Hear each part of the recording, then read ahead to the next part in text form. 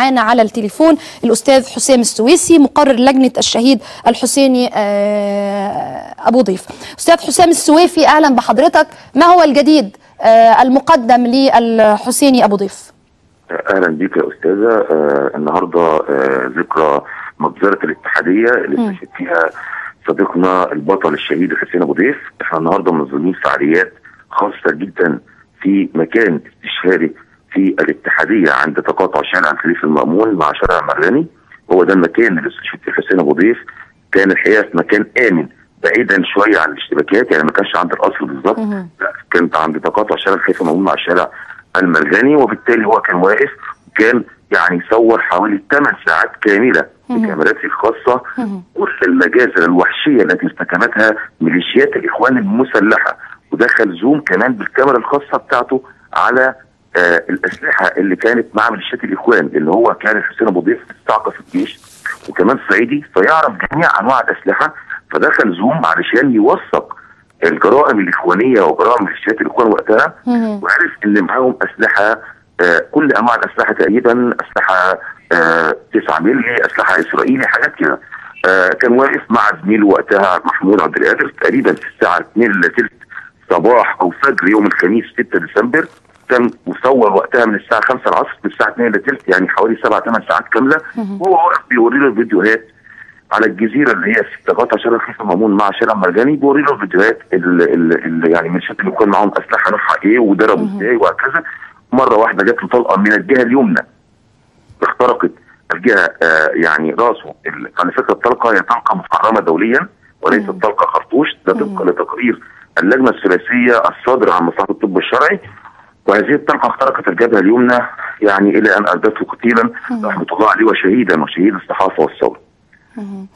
النهارده أستاذ حسام يعني بعد مرور عام على شهيد الصحافة إيه اللي هتقدموه للحسيني أبو ضيف؟ نعم النهارده إحنا الحقيقة يعني قلنا إن المفروض تكون الفعاليات الخاصة بإحياء ذكرى الشهيد إحياء الذكرى السنوية الأولى للشهيد الحسين أبو ضيف في مكان استشهاد الحقيقة في مكان استشهاد عند الاتحادية. هنروح النهارده هتبدا الفعاليات الساعة 3 عصرا بعد ساعتين من دلوقتي. هتكون عبارة عن إن إحنا جايبين حوالي 150 صورة للشهيد في جميع وقفاته سواء في تضامن مع الصحفيين أو حتى في تضامن في وقفاته الاحتجاجية ضد آه جماعة الإخوان. عندما كان يهتف بأعلى صوته على سلالم نقابة الصحفيين وفي جميع المسيرات والمظاهرات يسقط حكم المرشد؟ لأن جماعة الإخوان الكاذبة ادعت بعد استشهاده أنه كان ينتمي لجماعة الإخوان يعني دي دي دي طريقة جماعة الإخوان الكاذبة اللي تعودنا عليها طيلة 80 سنة من تاريخ الجماعة وتاسيسها.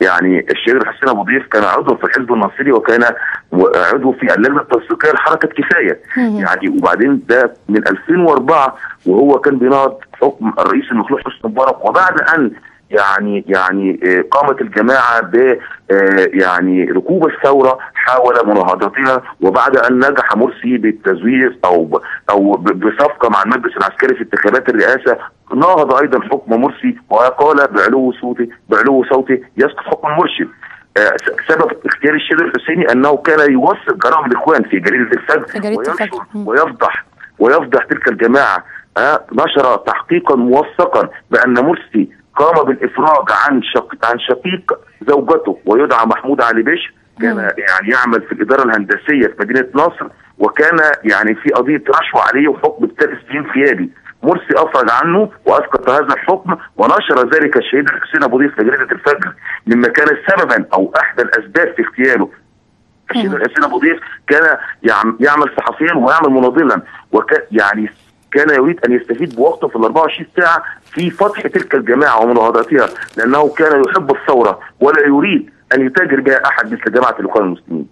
بشكرك الأستاذ حسام السويفي مقرر لجنة الشهيد الحسيني أبو ضيف.